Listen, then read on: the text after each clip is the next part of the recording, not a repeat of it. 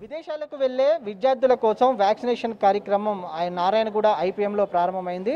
మనం విజువల్స్లో కూడా చూస్తున్నాము. విదేశాలకు వెళ్ళేటటువంటి విద్యార్థులు పెద్ద ఎత్తున ఐపీఎంకు చేరుకున్నటువంటి పరిస్థితి కూడా మనం చూస్తూ ఉన్నాము. వారి యొక్క వివరాలను పాస్పోర్ట్స్ను కూడా ఇక్కడ ఉన్నటువంటి వైద్యులు పరిశీలిస్తూ ఉన్నారు. దాంతోపాటుగా వారి ఆరోగ్య పరిస్థితిని కూడా తెలుసుకుంటున్నటువంటి పరిస్థితి మనం చూడొచ్చు. ప్రధానంగా ఈరోజు ఐపీఎంలో దాదాపుగా మూడు వందల యాభై మందికి ఏదైతే విదేశాలకు వెళ్ళే విద్యార్థులకు వ్యాక్సినేషన్ ఇస్తూ ఉన్నారో ఏదైతే ఇప్పటివరకు కూడా దాదాపుగా ఏడు వేల మందికి పైగా కూడా రిజిస్ట్రేషన్ చేసుకున్నట్టు కూడా చెప్తా ఉన్నారు.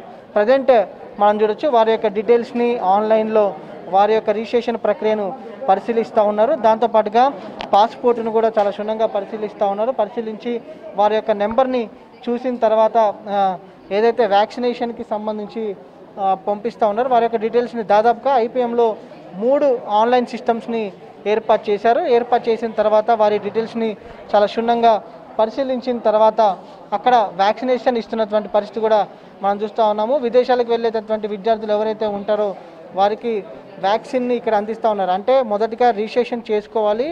రిజిస్ట్రేషన్ చేసుకున్న తర్వాత ఐపీఎంలో వారి యొక్క డీటెయిల్స్ని ఆన్లైన్లో పరిశీలిస్తారు. వారి యొక్క పాస్పోర్ట్ని పరిశీలిస్తారు. పాస్పోర్ట్ని పరిశీలించిన తర్వాత వారికి వ్యాక్సిన్ అందిస్తూ ఉన్నారు. వ్యాక్సిన్ ఇచ్చిన తర్వాత వారు హాఫ్ అన్ అవర్ పాటు అబ్జర్వేషన్లో ఉంటారు. ఉన్న తర్వాత వారికి ఏదైతే వ్యాక్సిన్ ఇచ్చే ముందే వారికి మెసేజ్ కూడా వస్తుంది.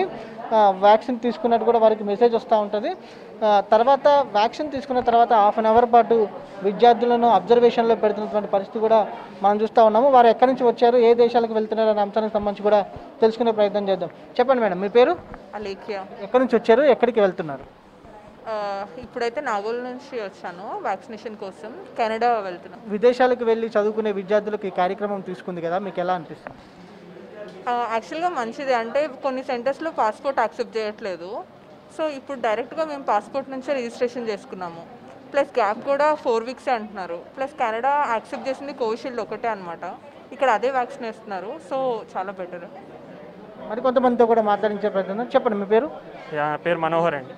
తెలంగాణ గవర్నమెంట్ ఇలా ఈ డ్రైవ్ స్టార్ట్ చేయడం వల్ల మేబీ అందరు స్టూడెంట్స్కి కన్ఫ్యూజన్ పోతుంది. అండ్ ప్రాసెస్ కూడా చాలా హ్యాజిల్ ఫ్రీగా ఉంది.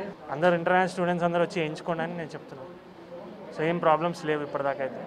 విద్యార్థుల కోసం ఈ కార్యక్రమం ప్రారంభించడం వీళ్ళకి ఎలా అనిపిస్తుంది? దానికి సంబంధించి చెప్పండి. మీరు మీ పేరు? మా పేరు వంశీరెడ్డి.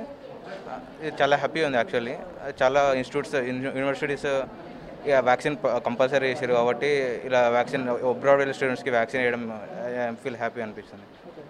అటు విద్యార్థులు కూడా సంతోషాన్ని వ్యక్తం చేస్తూ ఉన్నారు. ఇప్పటివరకు కూడా దేశంలో ఇలాంటి కార్యక్రమం ఎక్కడ లేదని కూడా కానీ తమ కోసం తెలంగాణ రాష్ట్ర ప్రభుత్వం ఈ కార్యక్రమం తీసుకోవడం ఎంతో సంతోషంగా ఉందని చెప్తున్నారు. వీడియో జర్నలిస్ట్ వెంకట్తో వంశీకృష్ణ టీ న్యూస్ హైదరాబాద్.